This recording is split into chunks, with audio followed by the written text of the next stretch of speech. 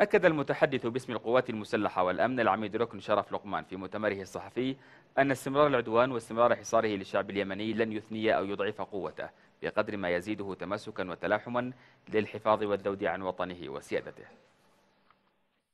520 غارة نفذها العدوان السعودي خلال العشرة الأيام الماضية. استهدفت مناطق عدة من المحافظات سقط على إثرها عشرات الشهداء والجرحى من المواطنين.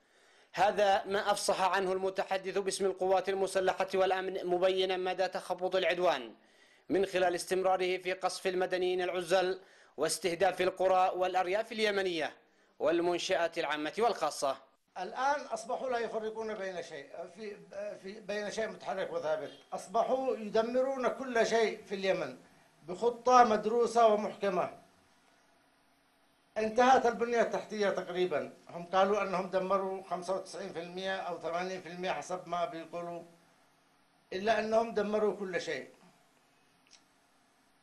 دمروا كل البناء لم يبقى إلا الشعب. الشعب اليمني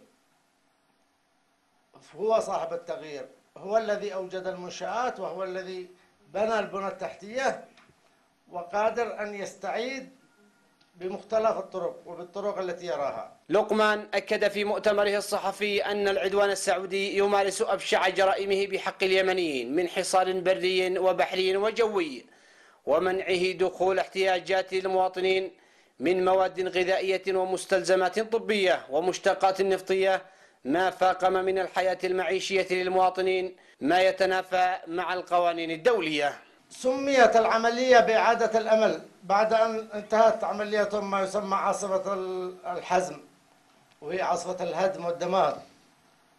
والآن يقولون إعادة الأمل. فرضوا حصارا بحريا وجويا وبريا. منعوا كل مواد الإغاثة الطبية أو الغذائية من الدخول. منعوا تصدير النفط أو الغاز. منعوا كل شيء عن الشعب اليمني في حركة تجويع ممنهجة. تجويع وتقتيل وهذا يعتبر دمار شامل لأنهم يريدون للشعب اليمني أن يموت من الجوع. وهذا شيء تنفيه وتعارضه كل الأعراف والقوانين الدولية. العميد شرف وجه رسائل عدة إلى الشعوب العربية والإسلامية وشعوب العالم أجمع. مخصصا الشعب السعودي أولا بأن يتصدى لما يتعرض له أبناء اليمن من عدوان همجي وبربري. من سلمان ونجله مؤكدا أن ما يحصل لن يؤثر في علاقة الشعبين الشقيقين.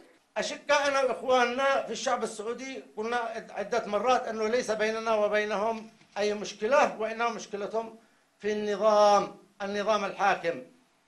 ونقول لهم إلى متى أيها الأشقاء في الشعب السعودي تسكتون على ظلم هذا الحاكم وصلف ابنه وغروره؟ إلى أين يريدون أن يأخذوكم؟ لماذا لا تتحركون؟ أنتم أصحاب الكلمة وأصحاب الفصل. فإلى متى ستظلون ساكتين؟ المتحدث باسم القوات المسلحة والأمن أكد أن العدوان السعودي استخدم أسلحة كيميائية محرمة دوليا مشيرا إلى ما حصل في عطان من استخدام قنبلة عدها عسكريون في المرتبة الثانية بعد القنبلة النووية. وما حصل بالأمس من إلقاء قنبلة فسفورية على المواطنين في محافظة صعدة. أصبحوا يستخدمون الآن أسلحة مختلفة. أمريكا تصنع أسلحة جديدة. ويتم تجربتها على أبناء الشعب اليمني.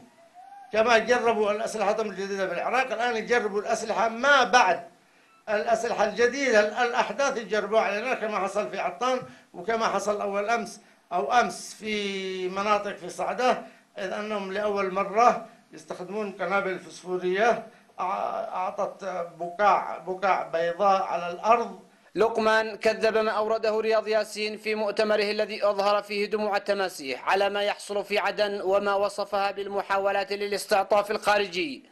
في حين تناسى أنه من يوقع ويحدد المواقع للعدوان السعودي ليتم قصفها مؤكدا أن ما بثه بالأمس فندت وسائل الإعلام من خلال بثها لتلك الجرائم وأنها حدثت في دول عربية أخرى كسوريا وليبيا ومصر.